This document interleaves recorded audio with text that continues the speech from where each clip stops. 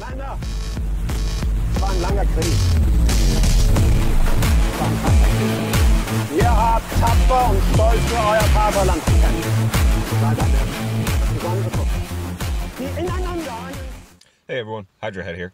Sorry it's been so long since I've had a video up. I'd uh, give you a reason why, but um, excuses are just uh, just that excuses. So I'll try and be better, be better. But um, for now, let's just talk about aliens, dust to dust.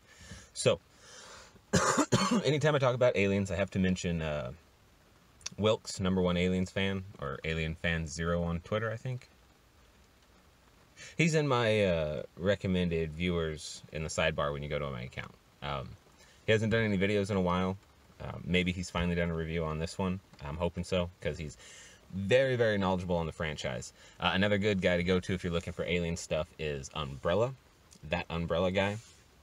He's just in general um, knows a lot about horror, and if you haven't been watching him, you should um, because he's got really, really constant content. I'm uh, jealous of his ability to output.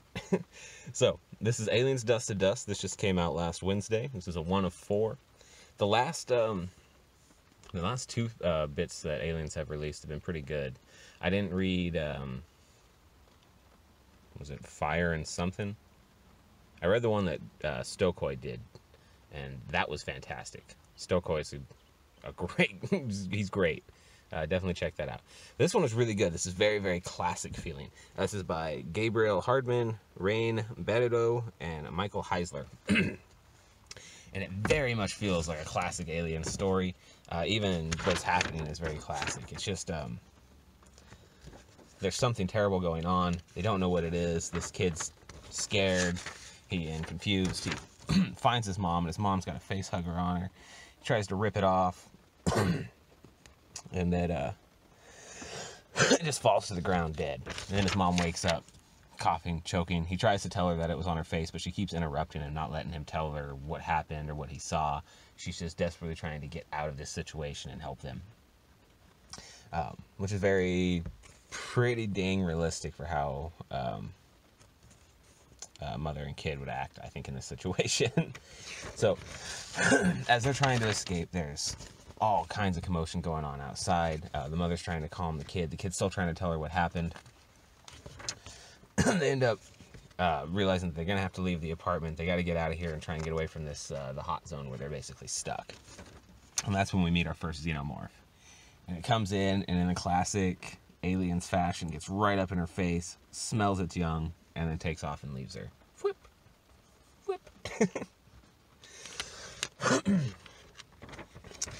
So, as the story continues, they're still wandering through the street. We see lots and lots of evidence of aliens. We see facehuggers dead all over the place.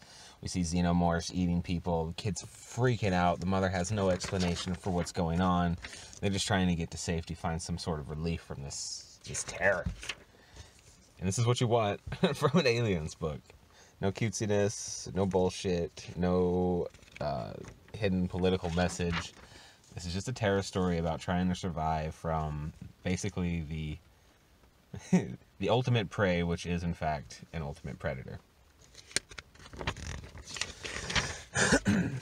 lots and lots of devastation. They come in contact with a few more aliens, but um, somehow always seem to make it out just fine. And uh, okay, so here's where the big spoiler is, and I'm keeping this short on purpose because with these books, there's not a lot of story. You really got to read it to get it. Um, and I'm just going to say, also, are they redoing this or are they just advertising the fact that you can buy season one now?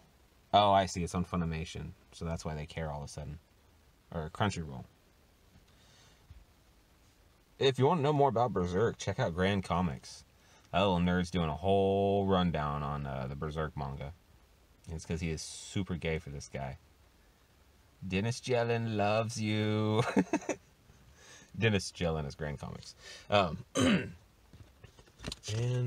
all right, I'm not gonna spoil the last couple pages because it, but it is the perfect aliens cliffhanger. Um, now I will say, definitely buy the first one just to see if you're gonna like it. I think you will.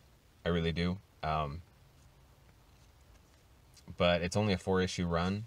And while they're doing a good job with the cliffhangers, the next three might not be so good. So, um, if you're patient, wait for the trade, then you can have that sexy trade on your bookshelf. Otherwise, go out and pick this up. It's real good. Gabriel Hardman did a good job. Um, let's see. Script and art was Gabriel Hardman. Dang. it seems like every time they have an artist do the script for Aliens, it just comes out spot on. So keep doing that, guys. That's one of the few things Dark Horse manages to do well. Um, coloring by Rain Beredo. He did a good job. Very, very um, dark feel to it. I'm sure there's a type of word that uh, DNC would give us for what this um, style of coloring is, but I'm not an educated artist. so anyway, thanks for watching. Definitely check this out. Hell Hydra, baby.